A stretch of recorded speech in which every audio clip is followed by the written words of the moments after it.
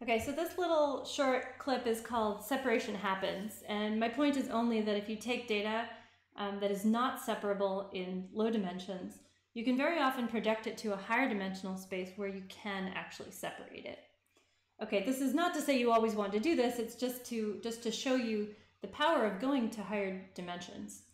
Okay, so I generated a data set, and my data set was actually randomly generated. Um, and I generated so that it's not separable in a low dimensional space. So you could try to take your hand and, and put a hyperplane, I guess like this, you could try to put a hyperplane down that would try to separate the positives and the negatives, but you won't be able to do it because there is no hyperplane that separates the positives from the negatives.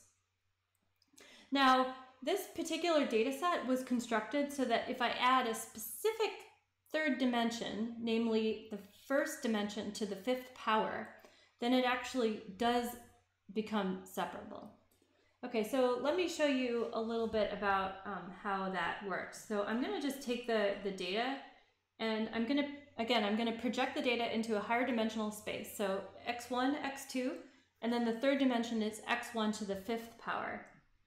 Okay, so here I'm, I've got here f, x1 to the fifth on the, the, the um, vertical axis there. And now I'm going to try and rotate it, which I'm not being very successful at at the moment. Um, there, think I got it. Yeah, so if you rotate, there are certain dimension, um, certain ways you can rotate it where it actually would be separable. Um, oh, this way, that way on your screen. Um, yeah, so it would be would be actually separable by um, a hyperplane in this three-dimensional space.